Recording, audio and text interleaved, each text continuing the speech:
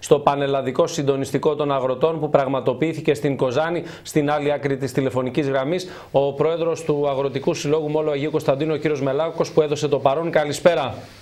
Καλησπέρα σας κύριε Βούτσινα. Είστε στον δρόμο της επιστροφής, ξέρω ναι, κουρασμένος, ναι. αλλά δώστε μας, δώστε μας λίγο ε, τι αποφασίσατε, ενημέρωση και για τους συναδέλφους σας πάνω απ' όλα κύριε Μελάκο. Αποφασίσαμε να γίνει ένα μεγάλο συλλαλητήριο παραμονή του ψηφίσματος για το αγροτικό και το ασφαλιστικό, ενωτικά όλοι μαζί στην Αθήνα, με αγροτικά αυτοκίνητα και συζητάμε και αγροτικά μηχανήματα. Αυτό θα γίνει την ημέρα ψήφισης του νομοσχεδίου για το φορολογικό ασφαλιστικό, κύριε Μελάκο. Ναι, ναι, ακριβώς, εκείνη την ημέρα. Αυτή ήταν μια κοινή απόφαση, έτσι; Ήταν μια κοινή απόφαση, ενωτικό το κλίμα, δεν υπάρχει καμία διάσπαση. Ναι. Και ξεκινάμε από αυτό. Αν τολμήσουν και το ψηφίσουν, έχει ο Θεός μετά. Ε, πώς να το ερμηνεύσω αυτό, σε νέα μπλόκα κύριε Μελάκο, έχετε κάνει τέτοια σκέψη, κάνατε τέτοια ναι, σκέψη ναι, στο Πανελλαδικό; Έχει πέσει, έχει πέσει στο τραπέζι και τα νέα μπλόκα, πιο ισχυρά και πιο δυνατά. Και επίσης έχει πέσει και άλλη μορφή κινητοποίησης όπως περιφέρειες, αποκλεισμοί περιφέρειας, αποκλεισμοί δήμων, αποκλεισμοί εφορίες, mm βουλευτικά γραφεία.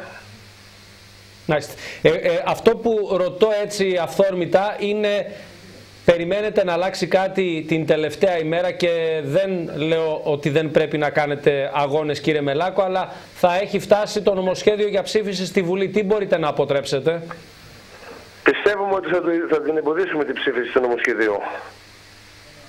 Μάλιστα. Αλλιώς την Πάσχα Οβελία μαζί με τους βουλευτές, τι θα κάνετε; Εννοείται, δεν το συζητάμε αυτό, δεν το συζητάμε.